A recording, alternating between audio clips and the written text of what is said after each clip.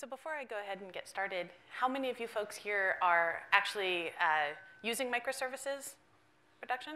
Ooh, a couple. Uh, how many of you are considering it? Cool, cool. Uh, anyone here uh, familiar with F Sharp? Much fewer. Okay, okay. Uh, there's a fair amount of F Sharp in this talk as well, but I will go over all the pieces that you guys will need. So today is patterns and practices for real-world event-driven microservices. Sometimes I throw a cloud-based in there. There's a few other you know, good buzzwords that I, I like to fill this title up with, uh, just to make it extra fun. But to start off, I'll usually actually define all of these pieces. So for real world, I mean, I work at jet.com. We are a shopping site. We are competing with Amazon.com in the States. Uh, we aren't available even, we're only available even in 48 states. We're not available in Alaska and Hawaii yet. But we have over 25,000 orders per day, 10.5 million items on the site. Uh, we're the number four marketplace worldwide. We're behind Amazon, I believe Walmart, and maybe um, ah, the other big one, I forget. Uh, but we're number four uh, for marketplace. And 700 microservices, I usually say 700, but that's a bit of a made up number. The last year around this time, I, I was pretty comfortable in saying we had about 300. And you know, as time went on, I'd, I'd ping the different teams and different developers and say, well, you know, how many do you think we have now? Are we maybe up to 400 or are we at 450? At some point, everyone's like, we don't know. My team has 22. My team has 47. My team has eight. And so I sort of, you know, did average the numbers over all the teams and figured it's probably somewhere between 400 and 1,000 microservices. And 700 seems like a nice round number. So we have a lot of microservices. And uh, the, the code definitely for all of our microservices and the vast majority of our code in general is F Sharp, maybe 90, 95% of all of our code. We do use a lot of technologies. Uh, the, we are very heavy users. You'll see the, the top section of Azure. And if you recall from the last slide, we are taking on Amazon, so we are not heavy users of AWS. Uh, but we use you know, their websites, Active Directory, the, the service bus topics, the blob storage. We use a lot of what Azure has to offer. The F-sharp section in the middle in green, uh, again, the vast majority of our code is in F-sharp. So Paket and fake, we use a lot of. If you haven't looked at Paket and fake, Paket is a uh, package manager, which sits on top of NuGet and is absolutely wonderful. Fake is a build system, also fabulous and, again, absolutely wonderful. Uh, but fsharp.data, fsblog, uh, SQL provider, uh, fsharp async. I know the SQL provider and fsharp async, we actually have folks on staff who contribute very regularly, are the maintainers of both of those. So we, again, we do a lot in the, the F-sharp space. R and Python for our, our data science, Node and Angular on our front end. And then the bottom section of purple is sort of everything else. Uh, we use Go very heavily. We have Consul and Kafka, again, microservices, Xamarin, SQL, you know, Apache Hive and Tez. We're very much a right tool for the job company, and we use whatever makes sense. So microservices, you know, that's, that is our real world. We are, you know, very much using all of these things in production. It is a, a very large site. We do need to handle these things at scale. So microservices, I found as I started speaking about microservices that I really needed to define what a microservice is, what that means to us at JET. And for us, for the, the definition, it's an application of the single responsibility principle at the service level. So if you don't know what that means, a class should have one and only one reason to change. To us, a microservice isn't uh, any one of these other, you know, it's not just one function. It's not you know, the amount of code that a two-pizza team can write in just a week and a half, you know, it's none of those other metrics. It's just simply the, the microservice itself should, the microservice itself should have one reason to exist, one, one purpose. The benefits of using microservices, very, very easy scalability. When you have such a small piece of code, you can obviously scale that up and out very, very quickly. If you for independent releasability, again, a very small piece of code, it's very easy to release just a single piece, just that one piece of code. It's not going to affect nearly as many pieces. You don't have to as run, run as many checks and tests and ver verifications and, and all of this before you release, though you do need to run those, the, those checks and verifications. But it is a lot easier to work with a small piece of code. There's also a more even distribution of complexity, and that excuse me. That really means that it, we're shifting the, the, the complexity from the business logic to the infrastructure.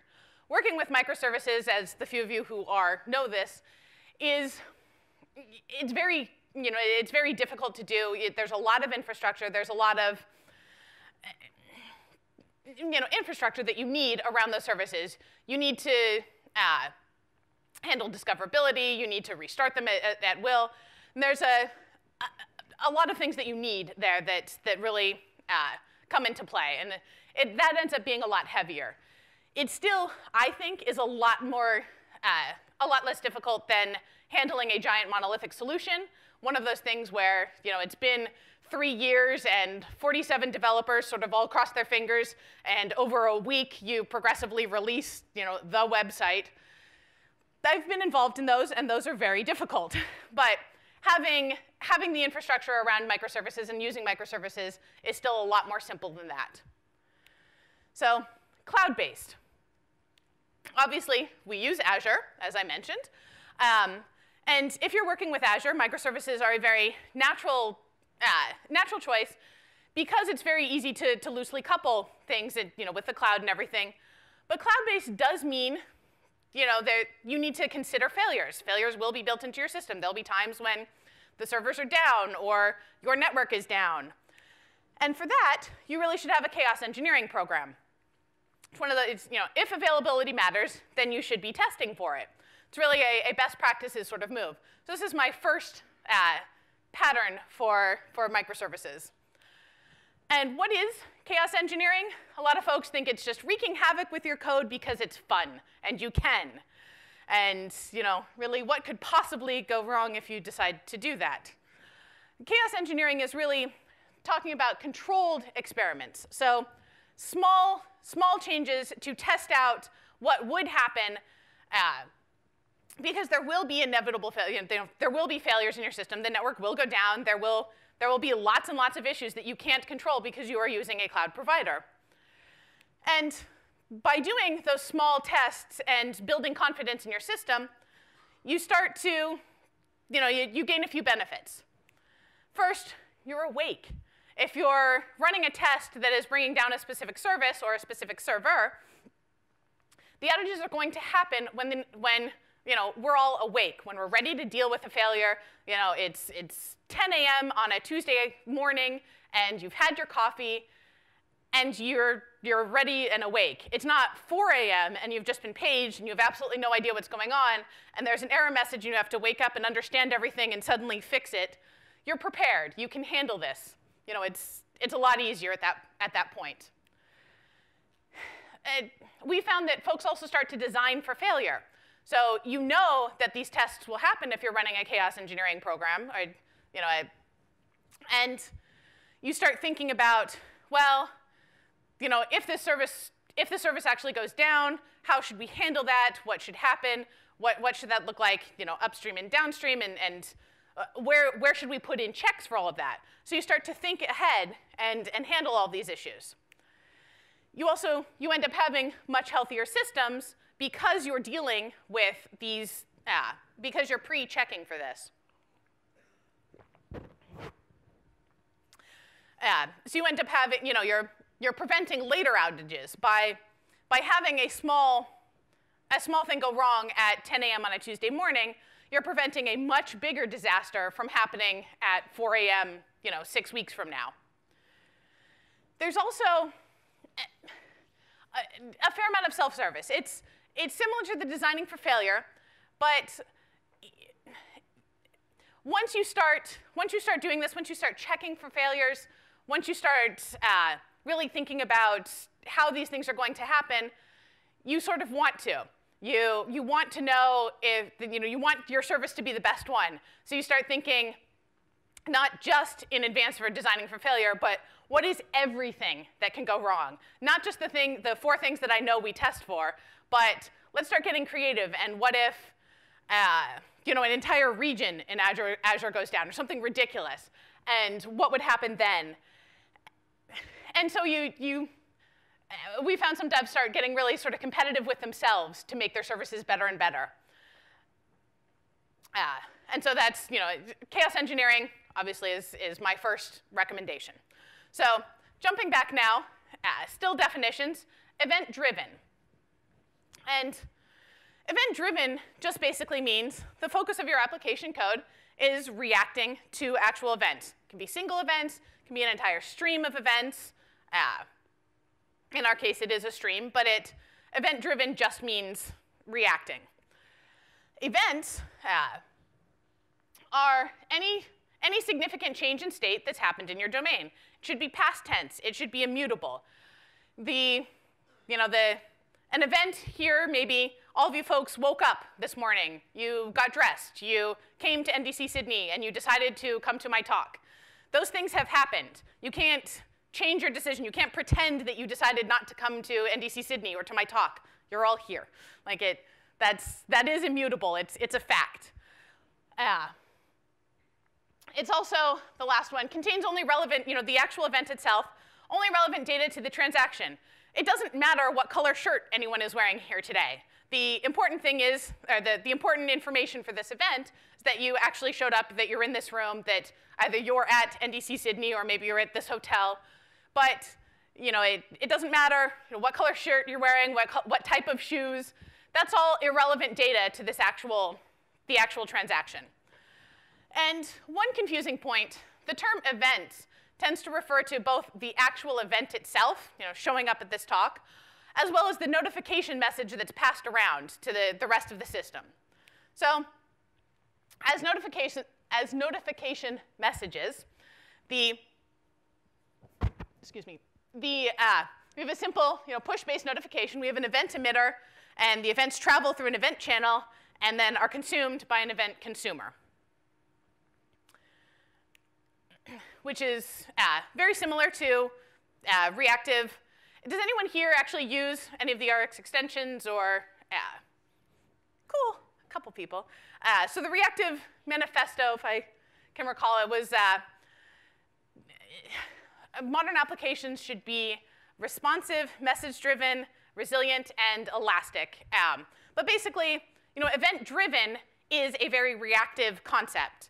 Events can be thought of as an observable, and when they are, you know, the, the microservice input of it, you know, when you're reading these events, you can, be, you can treat that stream of events as an observable and event source that. So does anyone here do event sourcing? Okay, a couple people. Have the rest of you folks heard of event sourcing? A Couple folks, okay. So event sourcing, slightly different than, or definitely different than event-driven. It's more about how you're modeling a domain. It's, an append-only sequence of events.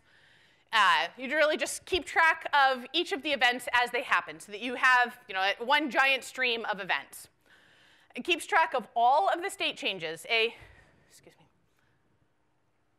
me, a very common uh, way of explaining this is, you know, thinking about folks, uh, customers when they move. You can have a, a standard database would only handle the most recent customer address, but an event log would, you would see all of the past events. You'd see when the customer moved, what the previous address had been, uh, and a flow of events through that. And you can end up replaying those streams uh, so, you know, a, a, relational model will only have the, the latest information. But you can end up replaying these streams very similar to an account history, a, a ledger, a bank statement sort of idea, where you can go back, you know, if you, if you are one of those people who, who you know, keeps every single statement that you've ever had, I used to be one of those people, I am not that person anymore. Um, but you can go back through all of your statements and you know, since the beginning of time from your, you know, when you started the bank account and see exactly what happened and make sure that you know, your version of the information is in sync with what the bank's version of the information is. But for example, maybe the date here, uh, maybe there's, there's additional uh, information you wanted to capture the time as well. You know, if you think of all of this as just one giant stream of events, you can replay all of that information and you know, add on the time assuming that that was captured to begin with and just cut off. Uh, so you can you know, replay and adjust if you, if you go through all of this, say you, you found a bug in the way this was handled, if you, you know, needed to update the SQL schema uh, of the, the tables that this information was writing to, maybe you needed to reindex your searching, but there's lots of different reasons and ways that you might uh, want to rerun this event stream. So how did JET actually decide on microservices? And this is actually one of my favorite stories. We didn't. We decided on F sharp. We sort of, and I will tell that story soon, actually next. But once we had decided on F sharp, we decided, you know, we uh, F sharp being a functional language and being immutable by default, most, well, the vast majority of functions that you're writing in F sharp are proper functions. They have inputs and they have proper outputs. And the microservices to us are just one large script. So they act sort of like one big function. There's some uh, specific inputs, there's specific outputs. They should be immutable in general. And we, we also named things you know, if you're writing a bunch of microservices, you don't want to name thing, you know, have maybe, you know, an, an import new items. So we have an, an import SKU service. The proper naming conventions dictate that you'd want to have, have that called import SKUs, not import SKU service. And we were doing that because we weren't thinking of anything as services. We were just thinking, well, this is the import SKU script, and this should be importing SKUs. And it, you know, it has a few inputs of you know, places to look, a, a stream to follow, and you know, specific outputs of you know, the, the SKUs themselves, perhaps. But there was no actual meeting where everyone sat down and said, as a good architectural decision, let's do microservices. We built a bunch of F-sharp scripts and accidentally woke up one day and had microservices. So then why did we choose F-sharp? Well, the hmm. The CTO attended a conference ages ago. Um, well, so first of all, this, this CTO is a big uh, Microsoft person, had always worked with, with C Sharp, was very comfortable there. And so the original plan was, was to just use C Sharp. And he attended a, a conference years and years ago when, when F Sharp was fairly new, maybe 2012, and heard the same story that a lot of folks have heard about how F Sharp is good for math and science and you know, you should, a lot of the banks use it for financial purposes, and you know, that, that's sort of F-sharp's sweet spot. And he decided that, you know, as part of the, one of JET's big uh, things is that we have a very interesting pricing engine. It can, it, it double checks which merchants you're going to be purchasing from, and if you're buying two or three things from the same merchant, it will uh, bundle those together. You can save a little bit on shipping. Uh, the merchant can save a little bit on shipping, and we pass those savings on to you. But we don't, you know, we don't really know who you're going to, we don't know which merchants you're going to be purchasing from until we have the final basket, because at that point, then we do all of that matching and see, see if we can get four things from one merchant and two from another, as compared to, you know, four individual items and two from a single merchant. So that pricing engine, the, the CTO realized, is a really is, is a perfect fit for F sharp. That seems like a natural, there's, there's going to be a lot of mathy things there.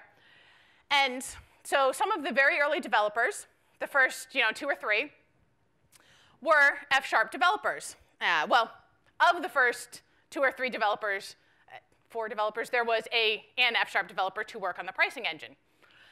And as you know, the, the architectural discussions started to happen and as things you know, moved along, they started to have more and more discussions about, well, should we maybe be using F sharp for this piece over here? What about this part over here? There, where, where does it really fit? Should, it, should the process be expanded or not? And they started to realize that they, they weren't really sure. And as a very, very young startup, they were like, hmm, we have time, and let's just, let's, let's see where this goes. We'll build one complete solution in C Sharp and one complete solution in F Sharp and see which one is better.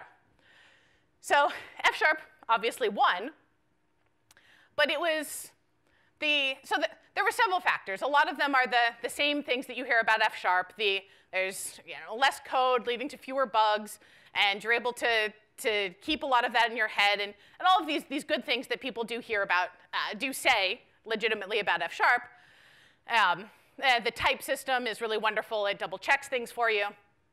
But the big thing, the sort of the straw that broke the camel's back, was our, our cross-cutting concerns library. We, you know, as one does, you know, we needed something to handle validation and logging and, and all of those things. And the standard way of handling that in uh, Web API and a few other libraries is by using attributes. You inject an extra function call before, before, your, before your functions. Um, and I know that, that several frameworks do this. But we needed a way to handle these cross-cutting concerns for services that weren't always based on HTTP. And that was really difficult to do in a generic way. That wasn't something that, that C Sharp really handled well at all. But with F Sharp, it ended up being just an extra, uh, for the folks who know F Sharp, um, just an extra uh, pipe statement. You're just making an extra function call and then continuing down the statement. So I will show you guys some F-sharp code in a minute.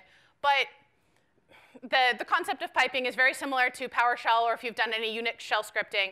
Uh, the, the output from the previous function is piped in as a parameter, the last parameter to the, the part after the function, or the, the pipe. And that, being able to just add a separate step in that pipeline made it basically completely trivial to handle these concerns for us. And that was sort of the, the big reason we ended up switching. So a few reasons on why people chose F-sharp uh, in general. First, people love programming in functional, uh, people love functional programming. The, I don't know if you folks saw the, the recent, sort of recent at this point, um, I think it was April, uh, Stack Overflow survey. But Swift, F-sharp, Scala, Clojure, Haskell are all you know, very high in the, the list. 70% of people just really love programming in that language. Or 70% of the responders said they loved it. That doesn't seem quite right. Not sure where those 70% are coming from. But it's awesome, people love it. Uh, so productivity. I know Yan is here, he actually spoke yesterday. But when he was working for a company called GameSys, I know they do uh, some Facebook games, I'm not sure exactly which ones, but obviously very, uh, very high numbers of users need to be very available.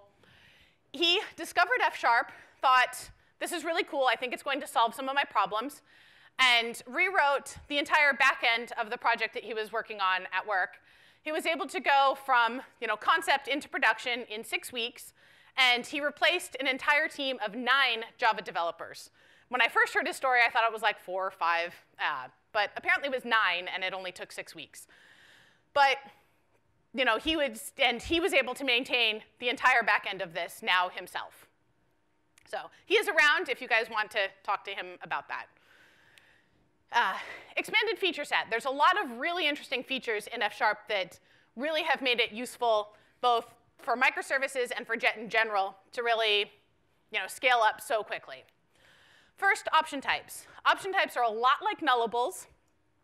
They're, they're a lot more powerful. They, uh, first, it's, you know, you can, you can have an option type of anything, not just, you know, ints or bools or uh, you can have an option of a string, an option of a custom type, an option of an entire function. You can, uh, you can uh, nest option types. You can have an option of an option of an option type. It's not always pretty, but you can do it. Uh, you can also, there's a, uh, you can use mapping and iterating and, and other, other such functions over this. So if you have, you have an option type and you want to, um, maybe a, an array of options and you want to, to double check, uh, you, can, you can basically map the entire thing and, and keep the, the null ones null and the, the ones that exist exist. And then this joke comes from when you're using an option type, to actually get to the value, you need, you're forced to handle that null check. So because you're forced to handle that null check, you're basically obviating null reference exceptions entirely. There's also a really, uh, one of the most useful features, especially in uh, bringing down, uh, you know, uh, reducing code size, uh, discriminated unions.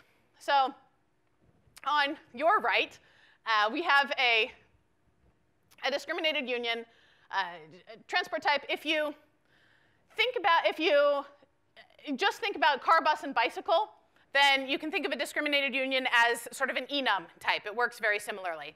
When you add on the extra bit of information, the make and model and route, then it's a lot more like a, a simple object hierarchy. So we have the, the C sharp on the other, on this side, there's a, a transport uh, a base class, you know, a car, bus, and bicycle each inherit from it. Obviously in C sharp, this would take four separate files. The, but they do contain basically the exact same information. I say basically, the C-sharp version still actually lacks structural equality. You'd have to override equality and comparison and get hash. Like, it'd be complicated to add in all of that every time. It's also not properly immutable. It's idiomatic, but it, uh, there's still a private set, so you could set it. Uh, the, the backing field technically probably should be read-only. But the, the F-sharp then has more happening in these four lines of code. It's also very, very, very easy to pattern match on. And pattern matching, I know that C-sharp, I think 7 was supposed to get some pattern matching. I know they've scaled that back. I don't know exactly where that stands. Uh, but the, without any pattern matching in C-sharp, then the only way we can have, uh, the only matching that we could do in, say, a, a switch statement would be on the top on a constant, uh, whereas F-sharp has all of these other ways of interacting with your data and handling, you know, just working with it to, to faster and easier get to the information that you actually need. So this is what that would actually look like. We have this get there via. Uh, it takes in a transport. We'll match transport with. In the first case, you have a car, which is, uh, you know, takes a specific make and a model. You have a bus, which takes a specific route, or a bicycle. If I, for example, add on a train, because trains are also a valid type of transportation, then we would, the next time, um, immediately if you're in the, in the same file or every time you compile, you'll get a warning that you have incomplete pattern matched expressions. So rather than having this pop up again, you know, at 3 a.m when you've suddenly been paged and the, you know, the PagerDuty alerts are going off like crazy, you just automatically know that you get a whole bunch of warnings when you compile. You can see those. You can see all the places that you're supposed to update that code. And the compiler just sort of has your back and is watching out for you. Type providers are also one of my absolute most favorite uh, features of F-sharp. And this is, uh, like I mentioned, we have one of the maintainers of the SQL provider that, that works at JET. Type providers are also a really, they're just really wonderful. They, uh, the first, they're, they're what really sold me on F Sharp. It's, uh, and I, I post Julie's book not to make fun of Julie. There's a lot of very hard work that went into her book. And the 920 pages length, I think, is valid to make sure that any framework is actually running and doing what you want it to do. It takes a lot of effort to really make Entity Framework do what you actually wanted it to do to begin with. But the, so 920 pages for Julie to, to explain how to, how to properly use Entity Framework. And then 31 lines here, we have uh, really lines 13 and 14 are connecting to a type provider and then grabbing the, the data context. So the, the first line really just does all of that connection for you. The, starting at line 16, we have a, a quick query. Starting at line 26, we're inserting information back into the database. And it's, it's almost trivial to use the type providers because it really is only one or two lines of setup each time. You have to you know, include a library and then connect out to it. type providers also aren't just for SQL Server. You can have a JSON type provider, an XML type provider, a CSV type provider. There's an R type provider for folks who are, are working with data science, which is has been really interesting and, and fun to use. You can basically run R, as long as you have R installed on your computer, you can write a bunch of F-sharp scripts and run R from F-sharp. So again, type, we do make heavy, heavy use of the SQL provider, and it, it has been really important. Units of measure also, and the, I don't know if you folks remember this, but there was uh, uh, two of the teams on the, the climate, the, the Mars Climate Orbiter didn't actually communicate with each other well. One was using metric, one was using English, English units, and the entire craft exploded because they didn't communicate this to each other. Whoops. But units of measure don't necessarily just have to be a scientific thing. You know, it doesn't have to all be meters and seconds. They actually, JET uses them in the, the warehouse code to, to verify, you know, when, when we're stocking products, is this actually a single unit of something? Is an entire pallet of something? You know, just because we say we have one of something doesn't mean we actually understand what that means. We need a unit along with that.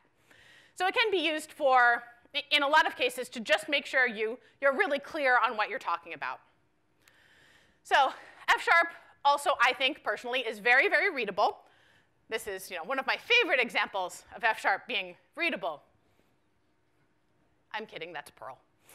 but it is one of my favorite examples of Perl not being readable. Uh, so Ramon tweeted this uh, a while ago, but he was basically doing a technical talk. He had some F-sharp in there, and one of his, came, his friends came along later and was like, you said you were gonna have code in that talk. What up, dude? The, this is the actual code he had in his talk. He had his entire domain model there. And it's pretty clear what, and that's what the, was in the actual tweet at the bottom, the picture he had. But it's pretty clear what's actually happening here. You have a discriminated union, the top, a booking, basic, which is just your plane, or a combo, or the full pack, you're getting a plane, hotel, and a car. So you're, you're booking a you know, travel. The, the type and, and, and, the, this is a way of defining all of your types at once. You don't have to say type in front of each one. You can just say and, and they're all together. But you know, next we have a plane. The plane needs an outbound and a return, both date times and destination.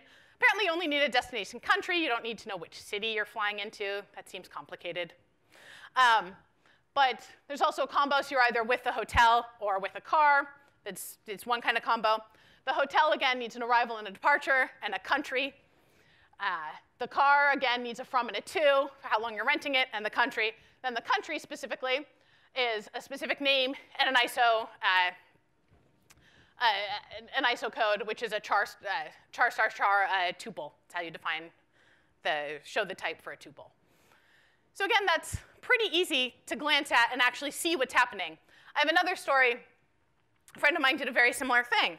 After uh, you know, a, a quick meeting, uh, he jotted down, again, like this, the, the domain model for the, the, what they, the, the new feature that they had just described.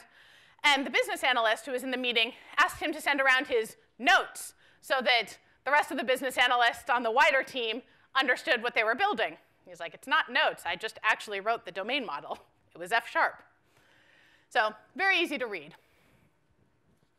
And again, as an example of shorter code, uh, which has been one of the, the huge ways that we're handling lots of feature, lots of uh, being able to handle a, a, a, large amount of functionality in a small thing like a microservice. So this bit of code was an article that came out on Code Project uh, a few months ago, a while ago now, maybe six months. That basically a somebody had taken a, a bad example of C Sharp, and I will show you that code in a second. It, it was pretty awful. It doesn't describe anything. You have no idea what's happening. And had rewrote it to be fully refactored, you know, properly, properly worked out. So you, it was very well, very descriptive, very, you understood exactly what was going on. And the original, so this is the original code. You can see, you know, to class one, you're apparently calculating something. Uh, and the, the original result is zero, but there's some different types that are involved and some years, but it's really unclear what's actually supposed to be happening here. So it was refactored and cleaned up in C Sharp still, and it went from 25 lines of code to 118 lines of code, and they removed the tests. and again, why? Why? Why? What, what is this? And there's also, you know, there's an I loyalty discount calculator and an I account discount calculator factory. And it's just, it's, there's a lot of overhead for just showing off this small bit of code. There was also a second approach. One guy saw this article and was like, that was some awful C sharp. Here's some better C sharp. So he rewrote it into 52 lines of code, which is not bad. He also caught an additional error that the original expander didn't, didn't properly catch. But he noted that the factory method uh, and, and strategy patterns were, were totally irrelevant. This is, uh, let's see, Ralf, Ralf Westphal um, uh, in his blog post redid this. So this was his bit of code. And you can see it's a, a little easier to read, a lot clearer to, to properly understand. But the F-sharp community, uh, someone took this and rewrote this into 30 lines of code. And here, it's actually very clear what's actually happening. So the top, we have, we're taking a, a year and just, you know, aliasing that type, it's just an integer. We have a unit of measure as a percent, because what's actually happening is we're taking a discount uh, percentages off for customers who are valued. So we have a discriminated union, which is an enum type, uh, or in this case, acting as. Uh, so simple, valuable, and most valuable. And just basically, you know, there's, there's another discriminated union for account status. If the customer is registered and how long they have been registered, or if they're unregistered. And then the customer discount, this is a shorthand way of pattern matching. So we have you know, our function, and then if it's a single, then they get a 1% or a simple 1% discount. Valuable, they get a 3% discount. You can see how you simply tag the units of measure here and very quickly can just go through and, and see at a glance that this is a percentage and not some other type of integer. So the, the years discount, you know, when the years are greater than five, you get an actual 5% discount. Otherwise, you multiply that and you get, you know, 1, 2, 3, 4% discount. Uh, but I, I won't continue on with the rest of it. The, it comes down to the, the very end, the, the price, reduce the price by the customer discount first, and then pipe it in, reduce the price by the year's discount next. And again, it, it's very clear, 30 lines of code to see actually what's happening. So the F-sharp way also has a few tests. You can very quickly get a few numbers and, and you know, one, two, three, four, five lines of code, also run some tests. So final reason why to consider F sharp and why, why we chose and why it's, it's so important, excuse me, you definitely don't need a PhD. And, and F sharp has this reputation of being you know, the complicated thing. But this is my friend Sean. And when Sean was eight, he spoke at NDC Oslo, actually, as his first talk, on F sharp. And it, was a lightning talk, I believe. But it wasn't just a, a little like, here's my Hello World program, and you should clap for me because I'm eight, and that was adorable. And I gave a talk. He actually did some very interesting things using 3D image modeling. So was, you know, he's eight, and he is very much able to handle this. Obviously, he doesn't have a PhD. so now, the guidelines on actually, now that we have all of this background, we can actually get into the proper guidelines. And first, you're going to hate me, be functional. this is why I go and talk about F-sharp so much. That F-sharp and microservices are such an easy natural fit. Just makes so much sense. The using data in, data out transformations. At the beginning I said that it's, it's really important to have, you know, we, we built our, our services as F-sharp scripts, and they have inputs, they have outputs. You know exactly, you, you need to know exactly what that transformation is in the meantime. And, you know, think about what that mapping should be there's also, you know, start, uh, prefer mutability.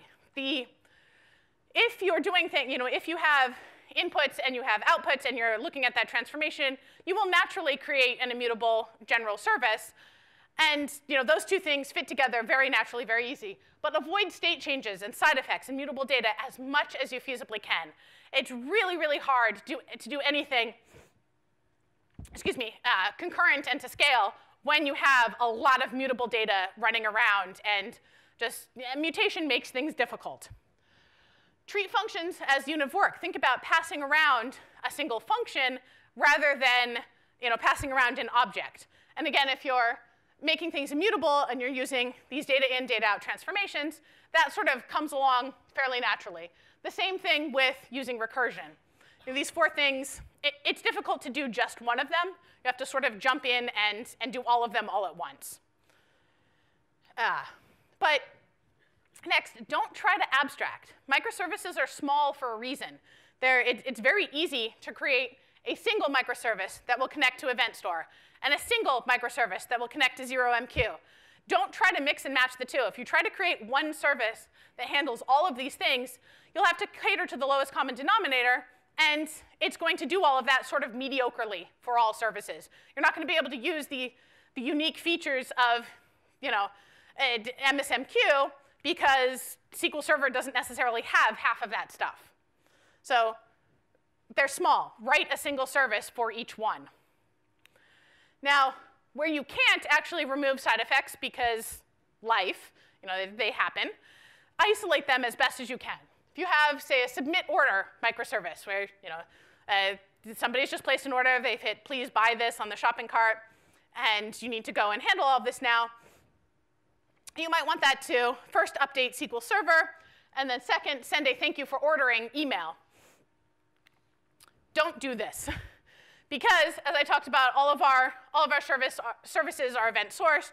We're reading uh, from an event stream. If we go and replay that and rerun you know, that event stream and rehandle all of these microservices, when we do that, we're going to, you know, when we replay everything, we're going to one, update SQL again, because maybe we've changed the, the SQL schema, something like that.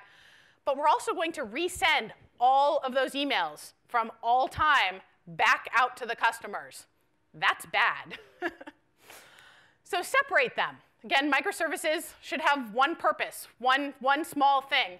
So set two separate microservices, one that inserts, actually does the insert into SQL, and one that sends the thank you, thank you for ordering email.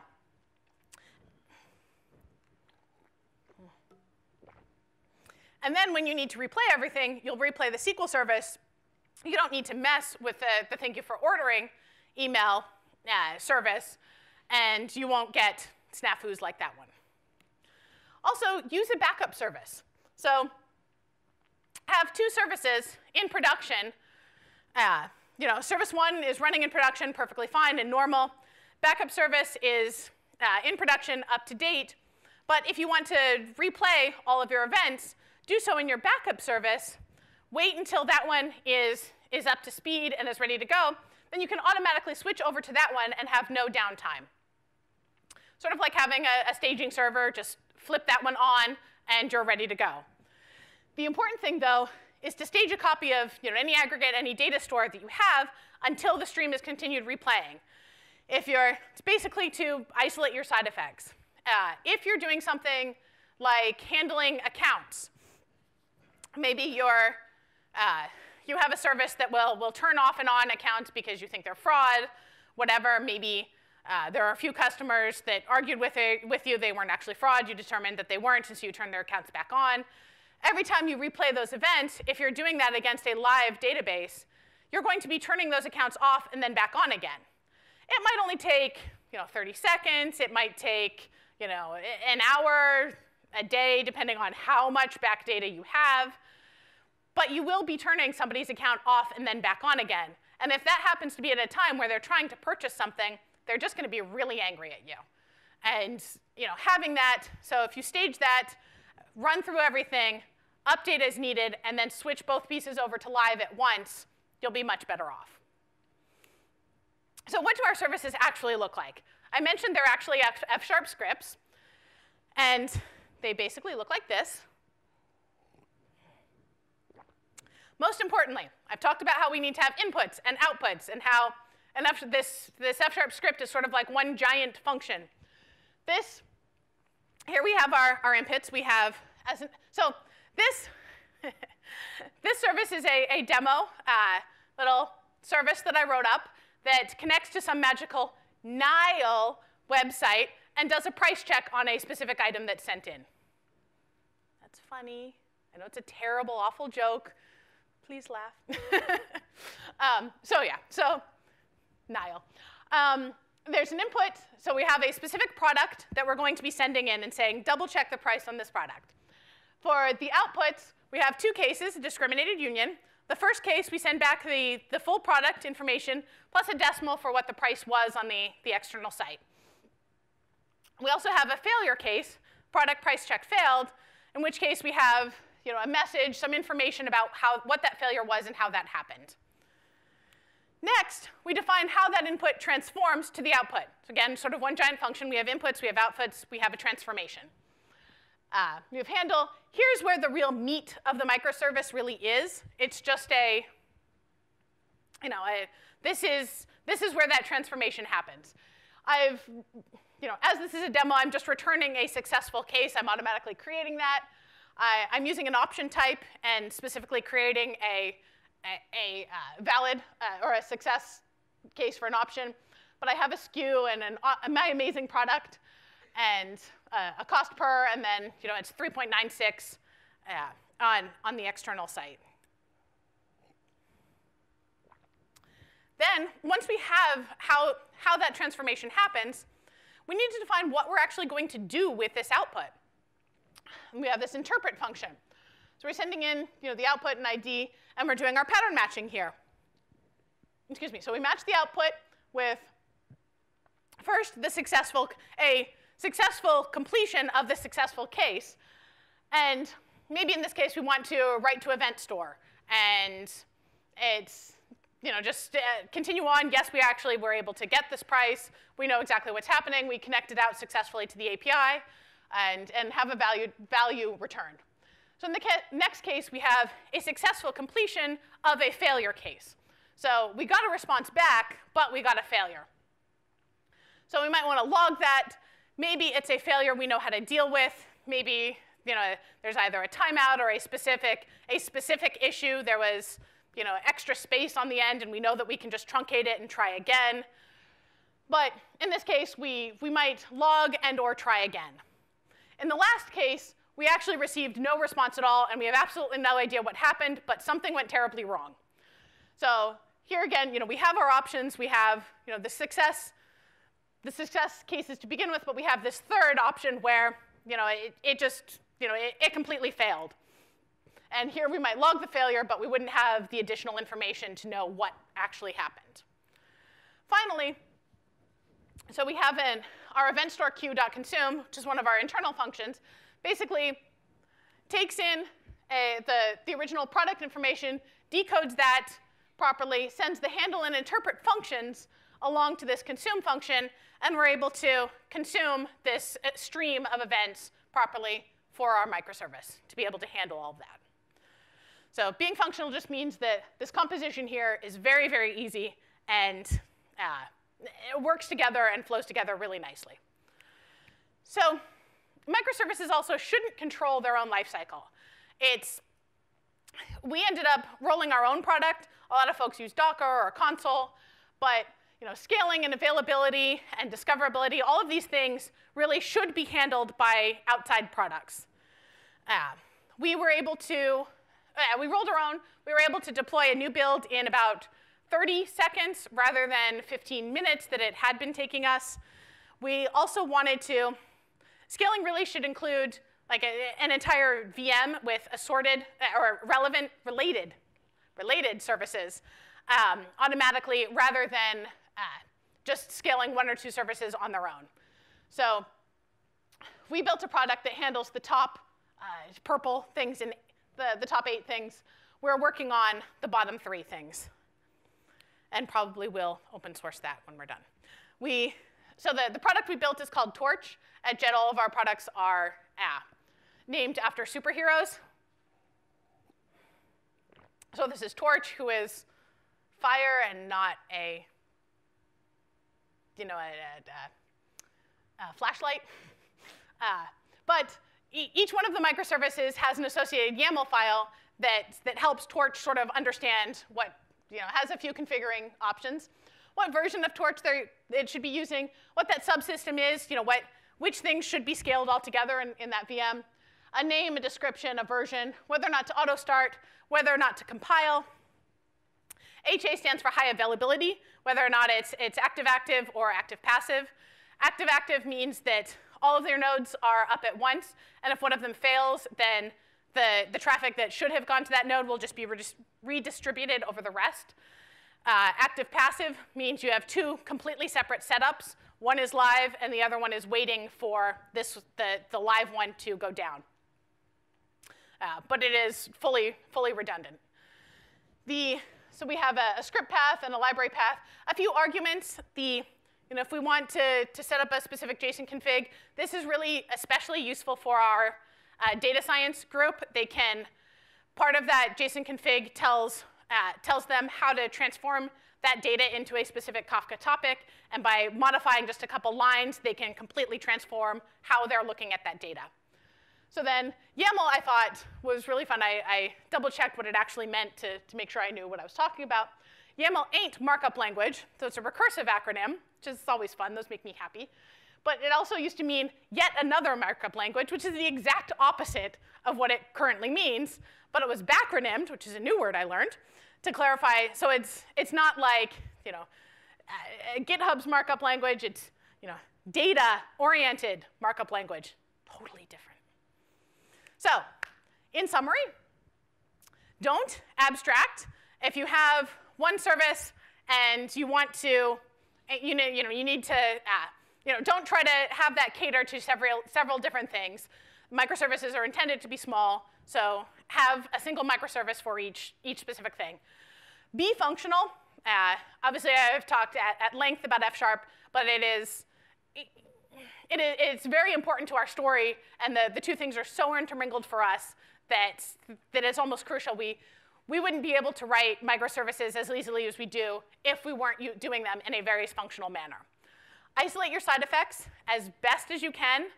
Um, and you know, where you can't, separate, separate the service. You know, so you have one, specific, one specific service that handles just a specific side effect. Use a backup service. Make sure you have something that's you know, chugging along in production. You can replay events into that service and then just switch over as needed and you're ready and good to go.